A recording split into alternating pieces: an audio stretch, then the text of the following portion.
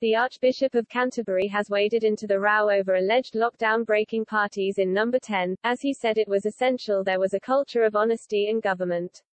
The intervention from Justin Welby comes as the Prime Minister continues to struggle with backlash over claims of alcohol-fueled gathering in Downing Street last year.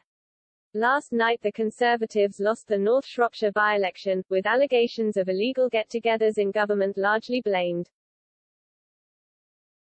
The Liberal Democrats overturned a majority of over 22,000 to take the seat. A number of alleged parties in Downing Street are currently under investigation, and the Conservatives have been forced to admit two members of staff were disciplined after an illegal gathering at their headquartered last November. A photograph showed former Tory London mayoral candidate Shaun Bailey with more than 20 other people wearing party hats or holding drinks at CCHQ. Mr Bailey has since stepped down from his position as chair of the London Assembly Policing Committee.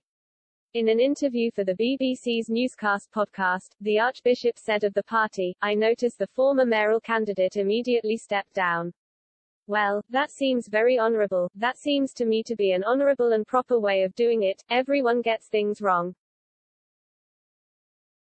While he would not be drawn on accusations Mr. Johnson was aware of lockdown-breaking parties in Number 10, he added it is clearly essential there is a culture of honesty should come from the government. First of all, obviously, we must obey the rules.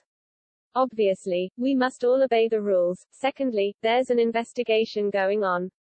I won't prejudge that but we need to set an example, he said, on a human level, I, just disappointed, really. I make so many mistakes myself, I'm not a big one for throwing stones, I don't really do much on judging people, but we must obey the rules, we have to depersonalize it, let's get away from that example, and it say, obey the rules, stick to the rules. Mr. Welby's comments will heap further pressure onto Mr. Johnson. The Prime Minister admitted this afternoon he needs to fix issues like the reported number 10 parties to regain the trust of the public following yesterday's by-election loss. thank you